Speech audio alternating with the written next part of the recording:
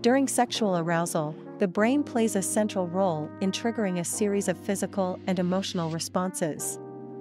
When a person becomes attracted to someone, the brain sends signals that activate various systems in the body.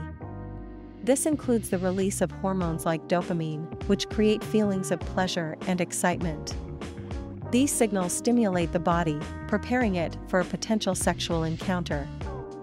Physically, sexual arousal leads to noticeable changes in the body. For men, it often results in an erection, as blood flow to the penis increases. In women, blood flow to the genital area causes lubrication and swelling.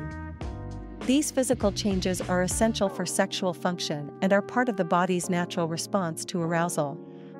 It's important to note that arousal is a complex, individualized experience influenced by various factors. Beyond the physical responses, emotional and psychological elements, such as attraction, intimacy, and mental state, play a crucial role in arousal.